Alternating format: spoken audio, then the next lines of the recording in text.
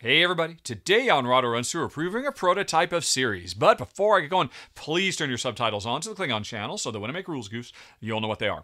And if you've done that, well, then welcome to Ceres, which is a dwarf planet or oversized asteroid that is orbiting the sun somewhere between Mars and Jupiter. In fact, you can see there's Mars off in the distance. And we are just part of the asteroid belt. There's the rest of the asteroid belt that we have come here to mine, mine, mine. We want all those precious uh, minerals and resources. And so each player has their own uh, company, their own corporation, and uh, we are going to be seeing who can get the most out of Ceres and the asteroid belt. I'm going to show you how it works today in a two player run through. I am the orange player, Jen is the purple player. And as part of setup, I've got four space bucks. I've got four credits, one alloy to build with, and one ice, the most valuable of the basic resources. I don't have any ceramics, any ore, or any excess power. Oh, by the way, folks, remember, this is a prototype. Apparently, um, in this prototype, they ended up having to do these kind of amber ore um, markers,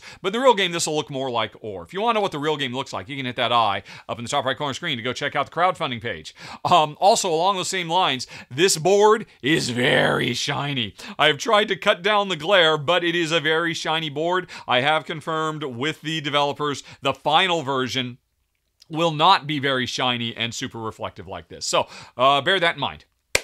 Anyway, though, this is a worker placement game. We each have five leaders, which let us go uh, talk to the Martian Council, um, start construction projects on Ceres uh, hire more contractors, and engage in trade with the uh, ships that come through regularly every year. This game takes place over three years. A year is over once everybody has used all their workers. But not only our personal workers that we can send to different spots all over the place, but this common pool of workers sitting over here in the living quarters. This is a really interesting twist on worker placement that I've got my own personal ones that are gonna you know be fighting for uh, getting into the right place at the right time on the main board. But then then we've got these other workers that we all have access to that we can send to our own private facilities that we built. Now, at the beginning of the game, everybody has access to the same four facilities. We each have a launch site, main factory, main lab, and main office. But there's plenty more facilities to build. And the more we have of these, the more of these workers we can use. So, I'm the first player. What am I going to do? Well, I would like to build some stuff. I could come right out here to the construction yard, and I'm tempted to because there is only one ice lab. There's more of them in the deck. These might show up later, or this might be the only one we ever see. And this is a particularly good one. This is a jack of all trades. The ice lab generates ore and ice and ceramics when I use it. Plus, it's worth three victory points when I build it as well. I need um, one ceramic and one uh, alloy to build it and it will give me ongoing income for the rest of the game of power. This is a real jack of all trades. I'd like to build that. But before we actually get going, folks, there is one step we have to do at the beginning of each of the three years of this game.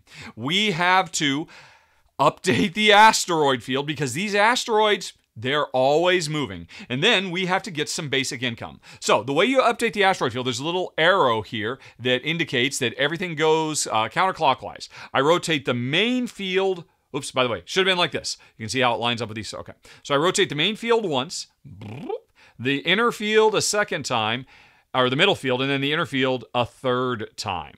So at the beginning of every year, it's going to rotate. This one, uh, which is closer to the sun and therefore orbiting faster, is going to rotate a bunch more than the outer ring. Now, these and these asteroids, uh, Massalia, Psyche, Heb, um, all of these different asteroids are very easy to get to right now if we want to launch our mining um, contraptions up there so that we can start getting more ore and points. These ones are a little bit further away, and these ones that are not in our immediate, we can get to these as well, but we have to launch and then go laterally, which means we have to pay more resources. We will be launching um, jobs. We are here to mine these asteroids, but um, before we do that, at the beginning of the year, this always rotates and we get our income, which means we have to look at our um, buildings again. At the beginning of the game, everybody gets the same income. Our launch site gives us two ore. Our main factory gives us one ceramics. Our main labs gives us one power. And our main office gives us one influence with the uh, Martian Council. So, but um, Jenna, she has the same buildings over there. So we both got one influence. We both have two ore, one ceramic, one power. Now, we don't have any ice generation here at all. And ice is arguably the most important resource in this game. It's what we break down to actually launch, uh, you know, to get fuel to launch to all the asteroids. And again, that's why I'm really eyeballing this. There is an ice mine as well, which is also very nice because, hey, it generates two ice, uh, plus it has a passive income of one ice. But I kind of like this because this just has a whole bunch of stuff it does for me although it is a bit more expensive to use. Uh, when I want to work this, I've got to pay some money to get all of that stuff. Huh. You know what? Actually, boy, I didn't realize this. There's only one ice mine as well. Yeah, I definitely want to build. I want to um, secure a supply of ice so that I can launch more ships and start mining more. So you might think that means, oh, well, hey, I'll take my. Now that we're ready to go, we've all gotten our income based on the buildings we have. The uh, asteroid belts have updated. I could be the first player and go to one of three spaces. If we were playing with more players, there would be four or even five spaces available. But in a two player game, there are only three spaces. So I probably want to rush right out there and build. Because Jen, she has the same stuff she could build as well but I think I'm going to risk it a little bit because over here I can do scientific research. And if I research different way building techniques, I can upgrade and get more and more resources, bonuses every time I build. So I think if I'm going to be a heavy builder in this game and build a lot of stuff so that I can use more of these workers, then I probably want to uh, invest in some research. So, how do I do that? Well, that means I'm going to have to activate my main lab which when I activate it is going to give me one power. And if I want to give up some ice, it'll give me more power. And then I'll be able to do the research. And so this is a red building to activate this, I don't send my leader out here. The leaders don't actually do the real work. The leaders just do all the management. If I want to do real work, I've got to grab one of these uh, workers from the living quarters. Uh, there are a number of these in each of the four colors equal to the number of players. So we're playing a two player game. There's two reds, two blues, two greens, and two grays. More of them will be showing up on um, shuttles that visit every year. You can see in the queue, we've got a green and a gray that have shown up this year, ready to work. Next year, we've got a red and a gray. And then in the third and final year, we've got two blues. But that's for the future. Right now, I need to get that lab to work. So I'm going to take this red put him to work. And I get one energy. And again, if I give up some ice, I get a second energy. And then we do the research. Let's do it. I will take two energy. One, two, I will give up one ice to get both of those. So I'm lower on ice. Ice just makes everything better on this planet. You need it. Uh, it's water. It's what keeps us alive. It's our fuel, etc., etc. So now I've got three energy, which is the best I can get right now. And I will do some research which means, let's take a look at this. For any of the three research tracks, the first step up requires two energy, and you'll get two points. So I'm going to get two victory points. I'm going to spend two of that energy I had, so I'm back down to one, and I can increase my ability to launch missions to the you know mining equipment to the asteroid belt. I can increase my ability to build, which is what I'm going to do, or I could increase my ability to engage in trade with the uh, shuttles that show up every year. This is the what I'm investing in. I got two points, I've lost my energy. And what this symbol means is from now on, every time I build any building, I immediately get the passive income that nor- the icon in the top right corner that normally you only get at the beginning of the year. So this is going to be producing, well, I still have to decide. Uh, my next turn is I'm going to build the ice lab or I'm going to build the ice mine, which means I could just be getting more pat. I could get some immediate more ice or some more power. If I get another power, I'll have two power. I could do another research and jump up my launch ability as an example. But we're going to go at that later. worry about that later because my turn is over. I activated one of the common pool of workers, and now I cannot activate my main lab again. It's occupied. There are ways to get around that. Uh, the game gives you a lot of flexibility, but for now, if I were to grab another red worker, I wouldn't have any place to put them to work. but what if I build an ice lab? Then I'd have a place to put them to work, wouldn't I? So anyway, let's um, worry about that later. It is now Jen's turn. She's in the same situation as me. She's got all these leaders. She has access to these workers. The workers can work in her buildings or facilities. The leaders can go out on the main board. And I think Jen, hmm, Jen is not going to mess around. She says, We're here to mine, I'm going to mine. And she's looking at all of the different asteroids that are readily available that you won't have to spend extra ice to get deeper into the asteroid field or farther afield. And this one, Fortuna, hey, what's in a name? This one gives four ore as opposed to um, you know one ice or two ceramics, etc., etc. Jen wants to set up shop there and just drown herself in ore. Uh, you know, there's two ore over here on Psyche, and um, you know, setting up on Psyche will give her three points in two ore, whereas Fortuna will give her four ore and only one point. Right now, she cares more about those resources than she cares about those points. So Jen wants to blast off. We each started with um, one uh, you know mining rig ready to get blast launched. And so, how do we launch? Well, once again, that's activating another one of our buildings. It's specifically our launch site. This is a gray, therefore, it needs a gray worker. And right now, there are two gray workers. So Jen's going to do this. And she gets two ore immediately. She can give up ice to get two more ore, or her choice, she doesn't have to. And she can launch. Right. So Jen will go on ahead and get that two ore. One, two.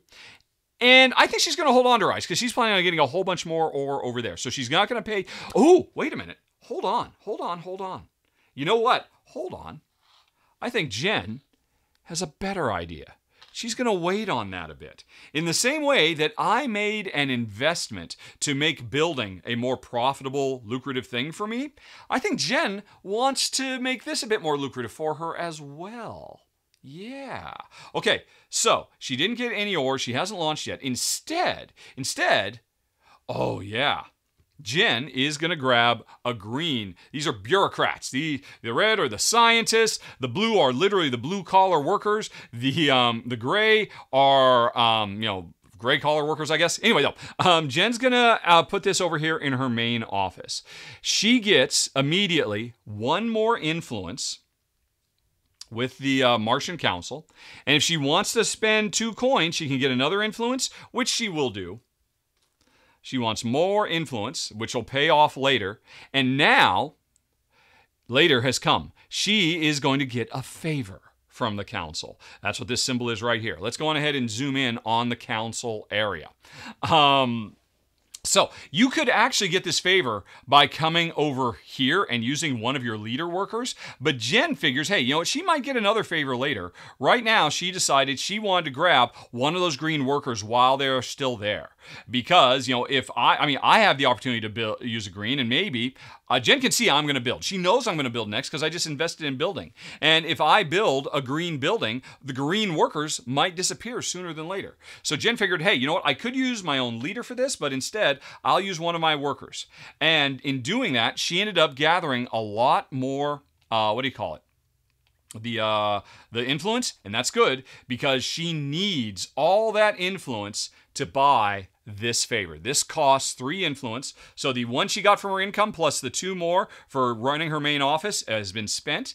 And now, for the rest of this first year, Jen is the ice queen. Whenever she has to do anything that involves ice, she gets a discount. And so she wants to do lots of ice-based endeavors for this year to make uh, to take advantage of this. We'll just go ahead and put this over there by her buildings. All right, which means you know if she activates this building, this building, and this building, she does not have to pay extra ice to get the bonuses. I had the option to pay, uh, and I did. I spent extra ice to get more energy. Jen, she's got ice coming out of her ears. Okay. So that was her turn. She activated her office, which she now cannot activate again unless she finds a way to get this green fella out of the way so another green fella could be sent there. All right, back to me. My turn. Now I'm going to build. I send my leader over to the construction yard. I pick what I want to build. And I think, yeah, I'm going to stick with that ice lab. I mean, the ice mine is tempting. The ice lab is more expensive, but that variety it gives me, that's definitely going to pay off. Alrighty. Um, so let's go on ahead and grab the ice lab. So in the top left corner, it tells me how much it costs. This costs one alloy and one ceramics. All of these things always cost some combination of alloys and ceramics to build them. So my leader says, hey, build this. And I just go on ahead and put this over here with my other existing buildings. I've left all this space. If Jen starts building, I'll have to make her some room. She, I guess her pieces can move off the board. Anyway, so I have built a building. Right. Now, at the beginning of the next year, I will passively earn one extra energy. So this is going to give me two energy over the course of the game.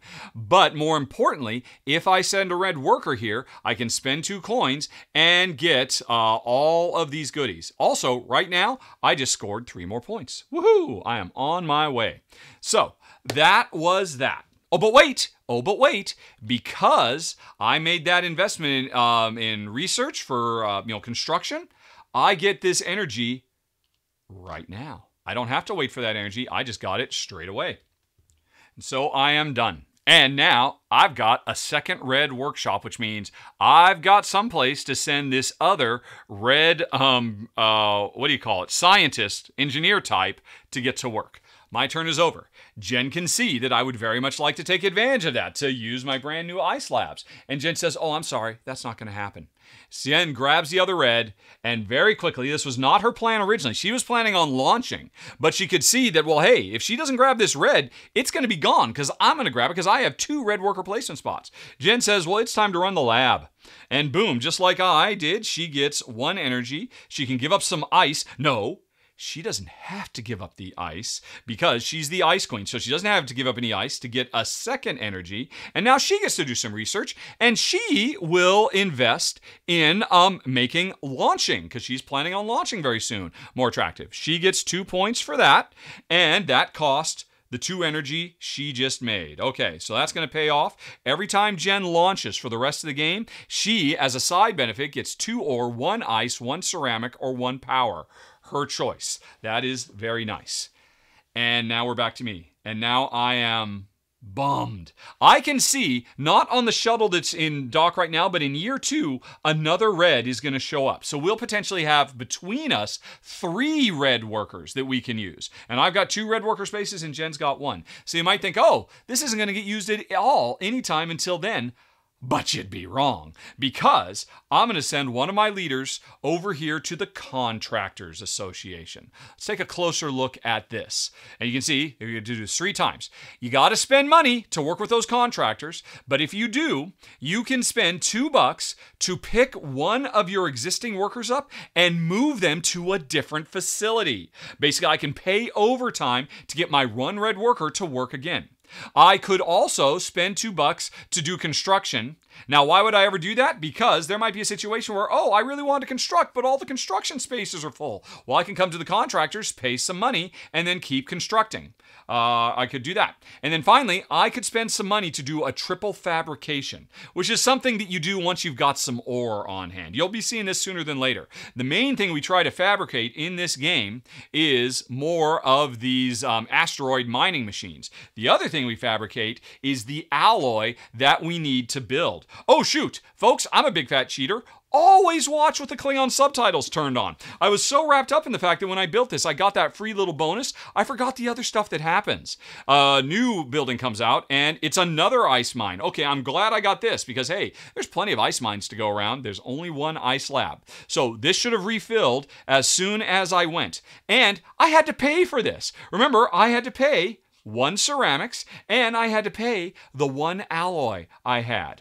And there is a little reminder over here on the construction yard that says, hey, whenever you construct, um, you get one influence with the council for every alloy you spend. So, as a little side benefit, I'm even more influential with the council over here now, and I might be able to call in a favor later, uh, depending on how it goes. Anyway, I'm sorry, I should have done all that last turn. Paulo noted it in the Klingon subtitles, so this is why you always want to turn them on. But anyway, so we're on to my next turn now. I'm coming over here, and I'm spending two of my precious four space bucks, my credits, to tell one of my existing workers to go work someplace else.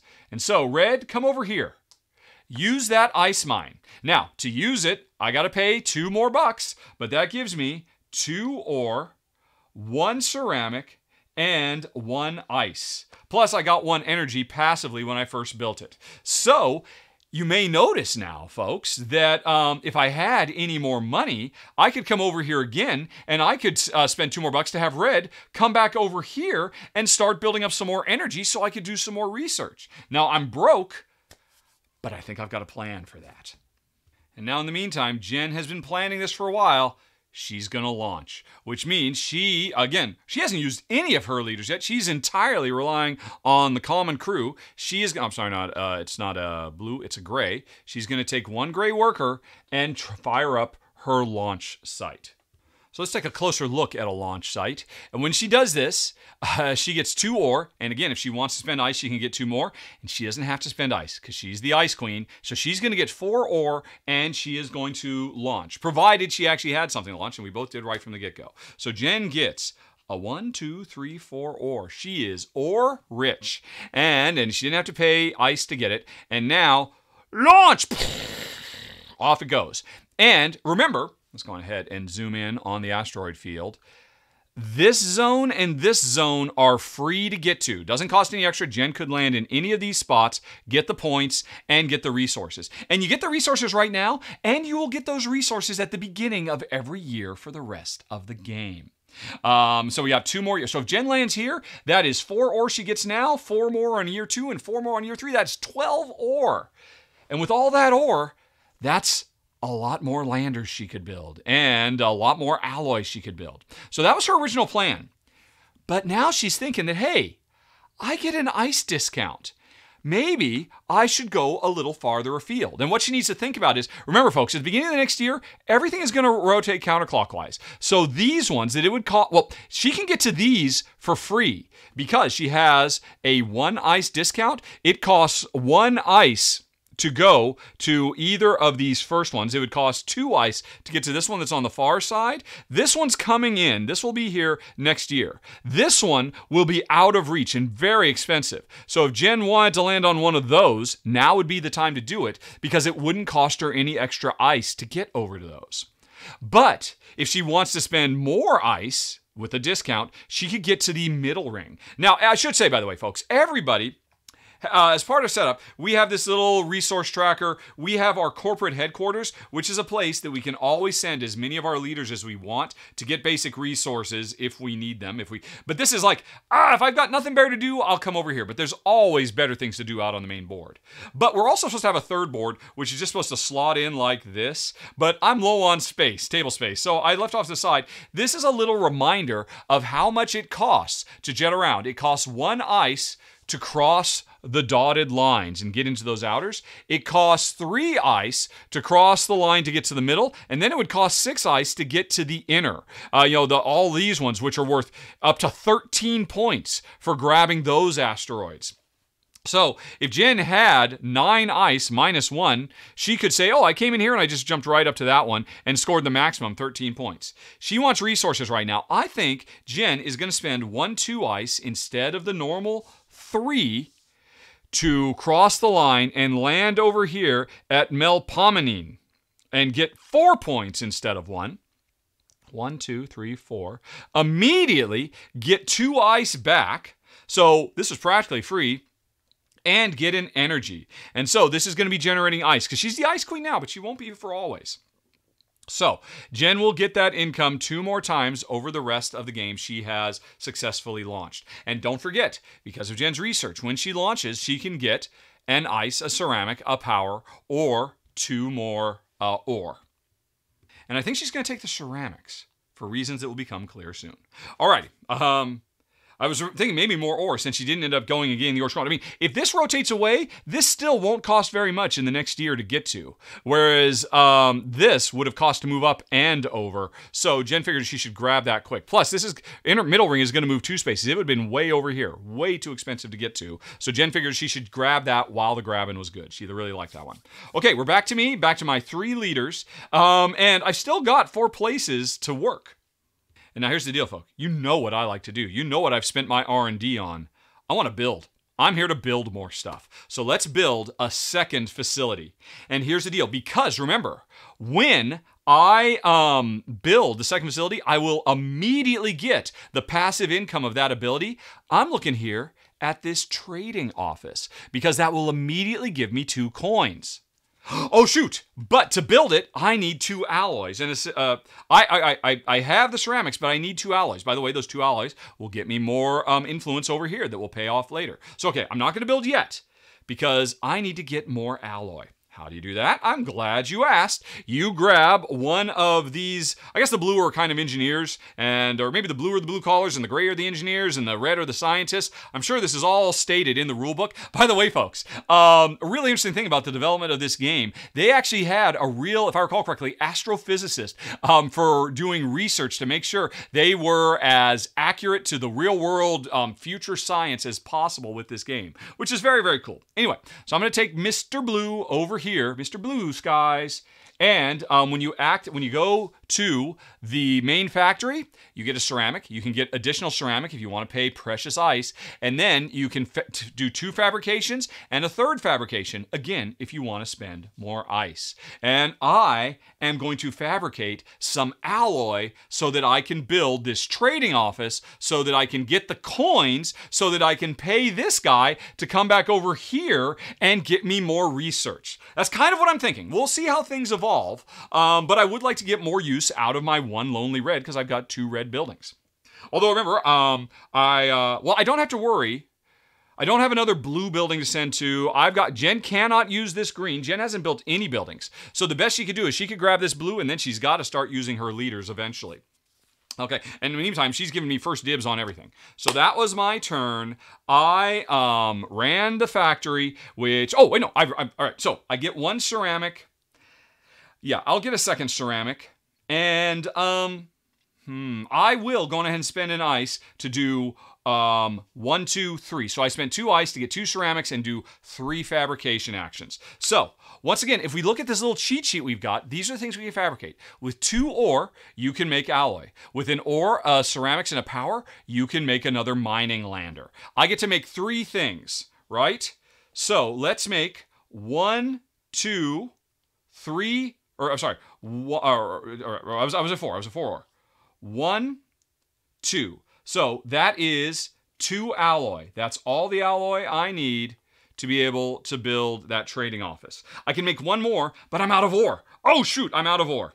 If I still had one ore, I would spend the ore in one of each and build myself a second lander. And I would eventually use that. But you know what? Okay, I don't have enough, so I did not spend that last little bit of ice to do another fabrication because I did not have enough resources. So there we go. So I've got these. Next turn, I will build that. And wait till you see how it happens, folks, because there's a very, very cool thing with the way you don't always build new buildings. Sometimes you upgrade existing buildings. But that will be on my next turn.